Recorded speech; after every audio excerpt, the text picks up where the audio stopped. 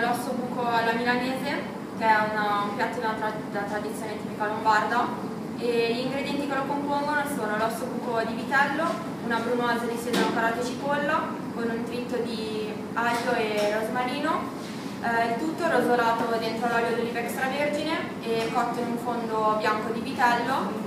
Eh, e poi come decorazione si può aggiungere della scorza di limone grattugiata e del prezzemolo.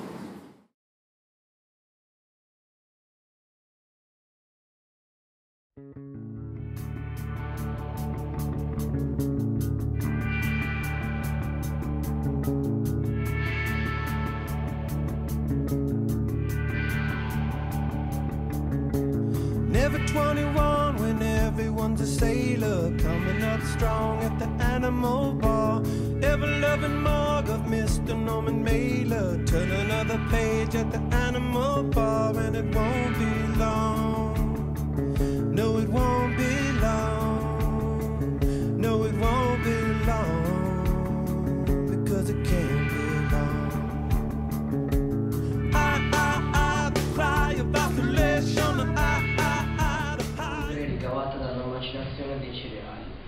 per legge non può contenere più del 14,50% o del 15,50% del tenore idrico.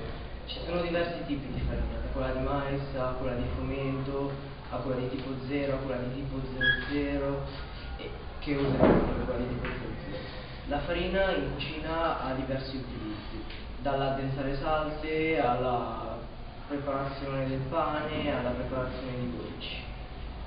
La forza della farina, sì, cioè la forza della maglia glutenica della farina si misura con eh, la lettera doppia, che sta a indicare la forza della maglia glutenica della farina, che più assorbe acqua più si rinforza.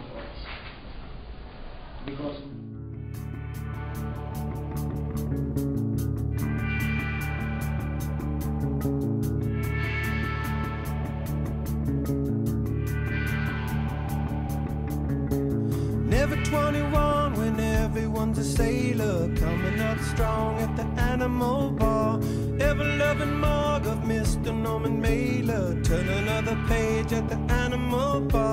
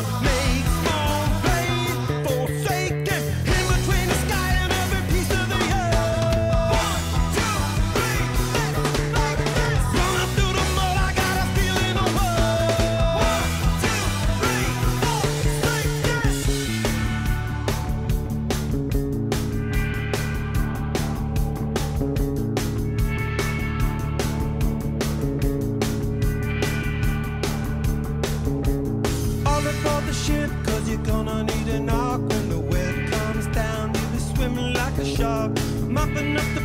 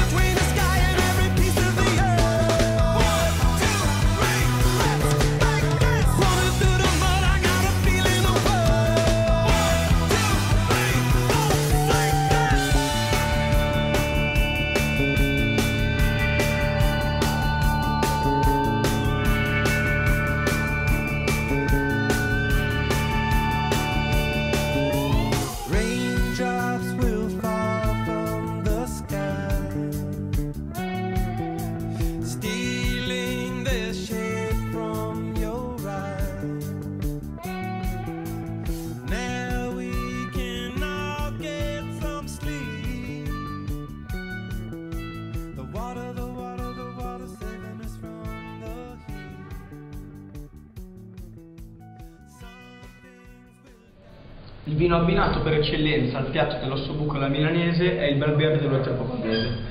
È un vino DOC, di origine, eh, denominazione di origine controllata, istituito il decreto il 22 ottobre del 1987 ma ufficializzato tramite gazzetta ufficiale il 14 aprile dell'88. È di colore rosso rubino intenso, limpido e brillante, ha un sapore tannico, eh, frizzante e acidulo. È un vino che va servito a una temperatura ambiente, quindi dai 16 ai 18 gradi, ha una gradazione alcolica che può variare dall'11,5% al 13%.